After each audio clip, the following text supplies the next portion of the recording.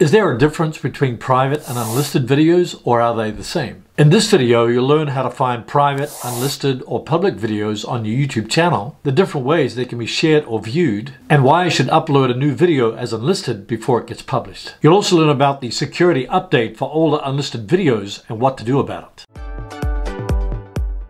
Private versus unlisted videos, what's the difference? Private videos can only be seen by you and whomever you choose. You can share private videos with up to 50 email addresses, but they must have a Google account in order to receive the video. Select the private option in the visibility box of the video you wish to make private, then click Share Privately. Add the email addresses of the invitees you want to share your video with. Keep in mind that invitees must sign into their Google account to view the private video. The good thing about private videos is that they don't show up in the search results but YouTube systems can still review them for ad suitability and copyright claims. Keep in mind that comments are not available on private videos, so you'd have to set the private video to unlisted to receive the comments. Unlisted videos are different to private videos because you can share the link publicly and they don't have to have a Google account. Anyone you share the link with can also reshare the video. Unlisted videos, just like private videos, won't appear in the YouTube search results unless someone shares the unlisted video in a public playlist. Unlisted videos also won't appear in the Videos tab on your channel homepage.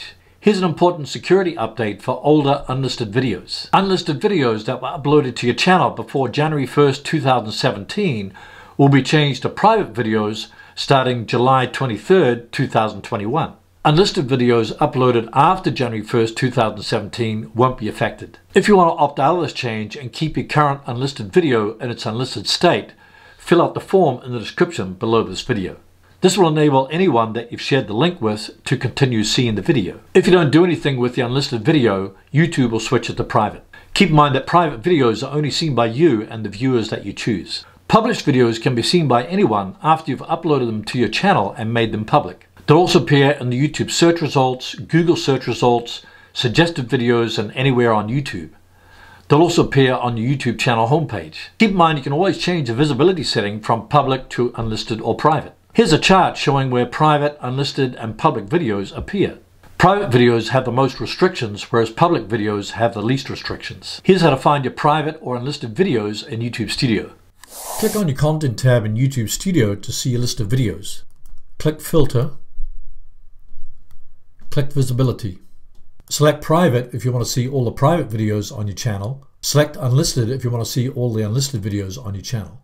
Now you can see the visibility listing, monetization, the restrictions, the date that it was uploaded, and how many views that video received. Under date, you can sort by upload date. Why should you upload a new video as unlisted before it gets published? YouTube recommends selecting this setting and wait a couple of hours to see if any monetization or visibility issues are found, then publish the video. Here's a quick reminder on how to correctly upload your YouTube video.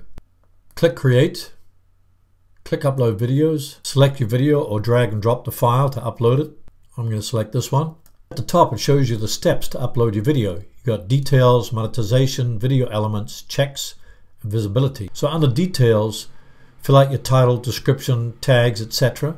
Then go to monetization, click done, click ad suitability, go through the list, check none of the above, click submit rating. Under video elements, add your subtitles, end screen and cards. Under checks you'll see if there's any copyright issues or ad suitability issues. Click visibility. Select unlisted before you make the video public or schedule it to go public at a later time. This will help you to see if YouTube found any monetization or visibility issues with your video. After you've completed the upload process, click Save. Your unlisted video will appear at the top of your videos list. When you're ready to publish a video, just change the visibility setting from unlisted to public. Then click Publish.